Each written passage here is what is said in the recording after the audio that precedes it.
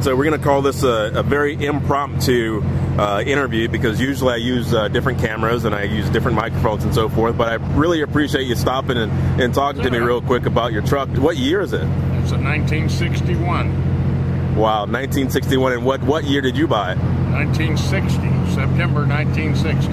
What have you been doing with the truck since? Putting miles on it. Yeah. Just, uh, I, I hauled uh, furniture for a long time in the 60s, and then I, I hauled cattle for a little while, and uh, I went off to doing trade shows, exhibits, and displays. On my own, I hauled Snap-on for 41 years, Snap-on tool, and I had to buy a step deck to haul their equipment. So when I started hauling that, I just stayed at it, and uh, after I retired, I retired for about a year and a half.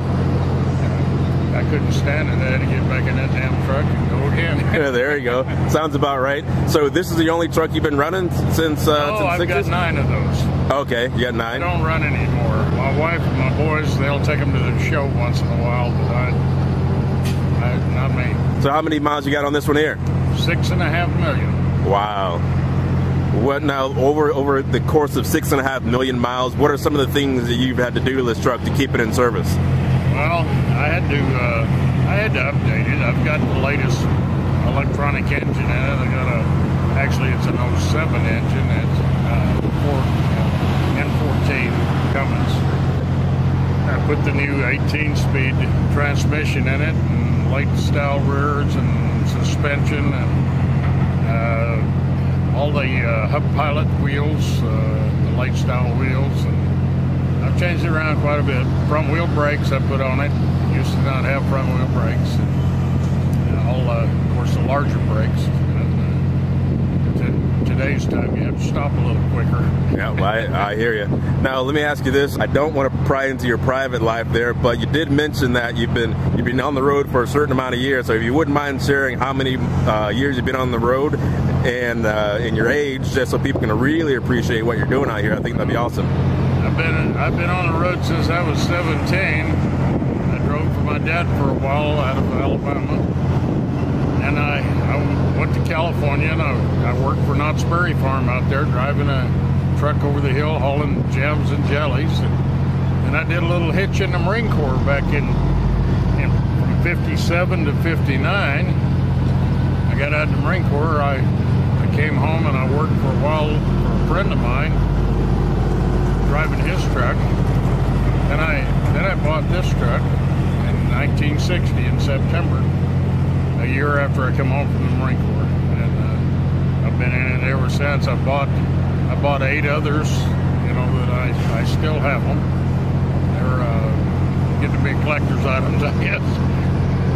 But uh, yeah, I I just uh, I'll be 74 in November, and I think I'll do it another 74. Well, I hear you, man. I, I, I more power to you, and I appreciate you. And you, you don't look that age. You, you, you, Uh, you in and out of that truck pretty quick when I came uh, up and talked to you. So I I appreciate work you. every day. I load, I pull them chains, pull them straps, put the tarps, do all of the, all of what it takes to get it, get a good job done. That's awesome. There's there's a couple of guys on the road that are that maybe got a year or two in that need to come and ride with you for a while, huh? Yep, yeah, I can teach them a few. Yeah, you can teach them a little bit of something there. Uh, last question: you, you run a, running a step deck there, a three-axle step deck. What are you normally carrying? And you did share where you where you headed to and what you're going to be carrying. I do a lot of uh, equipment like uh, you know track hoes, uh, dozers. I do a lot of uh, nitrogen tank for Air Liquide, uh, big heavy uh, tanks that weigh sixty thousand pounds. Uh, I just uh, I do a lot of oversized stuff. I just brought a big CNC machine here out of uh, Long Beach, California, for a, for a company, and it weighed sixty-one thousand pounds. Big, nice load. Awesome. Thank yes, you. Sir. Yes, sir. Yeah, yeah. There you go. That's cool.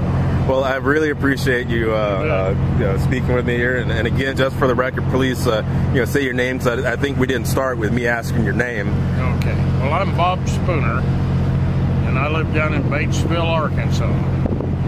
My shop and everything is right next door to Mark Martin and his new uh, uh, Ford dealership and museum there for the NASCAR people. So I'm, I'm right next door to. Cool. Well, Mr. Spoon, I really appreciate you taking a minute to talk to me here, and uh, I'm- I'm sure a lot of people are going to appreciate you and appreciate your ride. Well, I hope so. All right. Thank you. Thanks.